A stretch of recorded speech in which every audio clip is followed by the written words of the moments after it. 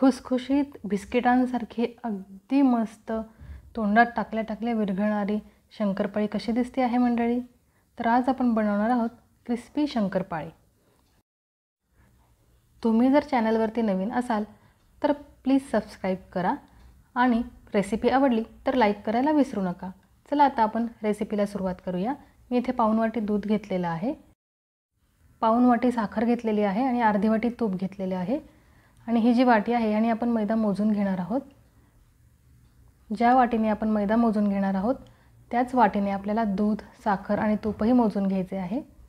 मी तीन वाटी मैदा घेणार आहे इथे.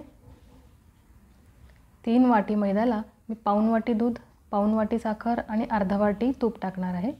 आता आपण या पातेल्यामध्ये साखर आणि दूध मिक्स करून घेऊया. आणि हे आपल्याला थोडंसं गरम करून घ्यायचं आहे.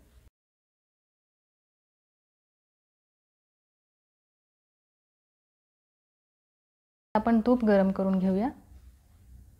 तीन वाटी मैद्याला अर्धा वाटी तूप भरपूर होते.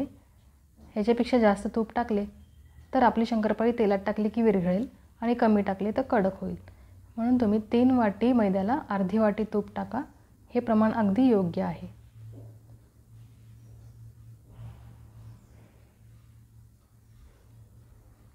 हे तूप आपण मस्तपैकी मैद्याला चोळून घेऊया. तूप गरम असल्यामुळे आधी चमच्याने मिक्स करायचे आहे आणि नंतर आपण हाताने त्याला मस्तपैकी चोळून घ्यायचे आहे.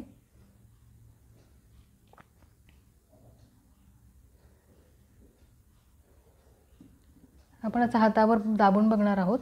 असा बॉल तयार झाला की समजायचे आपलं तूप बरोबर झालेले आहे.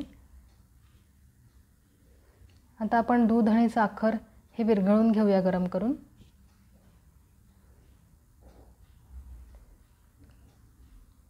दुधामध्ये साखर विरघळेपर्यंत आपल्याला गरम करायचं आहे. बघा विरघळेल आता साखर.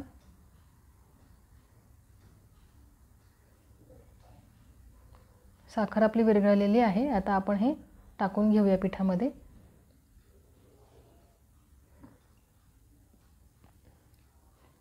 हे मिश्रण आपण थोडं थोडं पिठामध्ये टाकणार आहोत आणि पीठ छानपैकी मळून घेणार आहोत.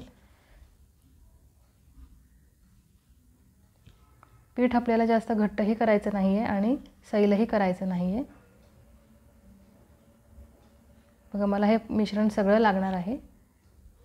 तुम्हाला जेवढं लागेल तेवढं तुम्ही वापरा. आणि जर कमी पडले तर तुम्ही थोडंसं दूधही याच्यामध्ये टाकू शकता. आता आपण व्यवस्थित मळून घेऊया हे पीठ. पीठ एकदम छानपैकी मळून घ्यायचं आहे. तुम्ही पीठ जितके छान मळाल तितक्या शंकरपाळ्या आपल्या मस्त खुसखुशीत होतात. पीठ मळून झालेलं आहे आपलं. आता आपण झाकण ठेवूया. वीस मिनिटे आपण हे झाकण ठेवून भिजू देणार आहोत. वीस मिनिटे झालेली आहे आपण बघून घेऊया. बघा पीठ आपलं घट्ट झालेलं आहे. आपण तूप टाकलेलं आहे तूप आळते त्यामुळे पीठ आपलं घट्ट झालेलं आहे. ते आपण आता एका बत्त्याच्या साह्याने कुटून घेऊया. म्हणजे ते एकदम एकजीव होऊन जाईल.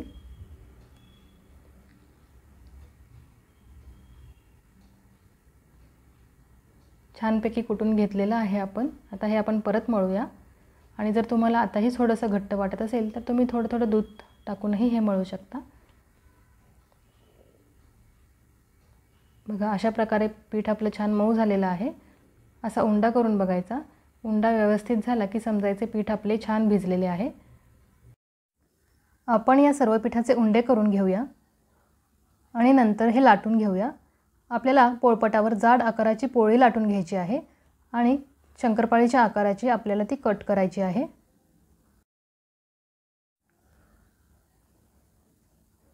बघा जाडसर पोळी लाटून झालेली आहे आपली. आपण याचा कडा कापून घेऊया.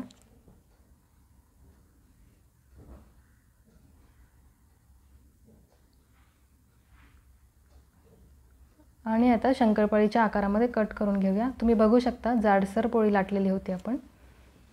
तुम्हाला हव्या त्या आकाराच्या शंकरपाळी तुम्ही कट करून घ्या.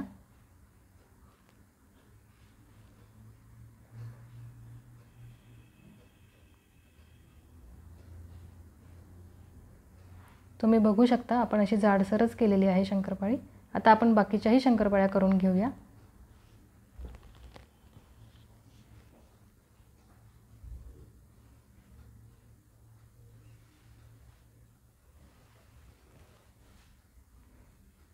बघा लाटून तयार झालेले आहेत शंकरपाळी आपल्या. आता आपण ह्या तळायला घेऊया. मी कढईमध्ये तेल गरम करायला ठेवलेलं होतं. आपण शंकरपाळी तळून घेऊया. आधी आपण एक शंकरपाळी टाकून बघूया. आपलं तेल किती गरम झाले आहे ते. शंकरपाळी आपल्याला मीडियम गॅसवरच तळायची आहे. हाय फ्लेम ठेवायची नाही आहे गॅसची. आणि एकसारखा आपल्याला झारा हलवत हलवत ही शंकरपाळी तळून घ्यायची आहे.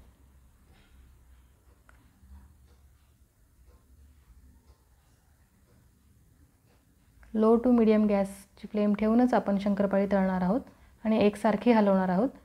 म्हणजे शंकरपाळी व्यवस्थित भाजली जाईल आणि त्याला एकसारखा कलरही येईल. तळून झालेले आहेत शंकरपाळ्या आपल्या. आता आपण काढून घेऊया ताटामध्ये.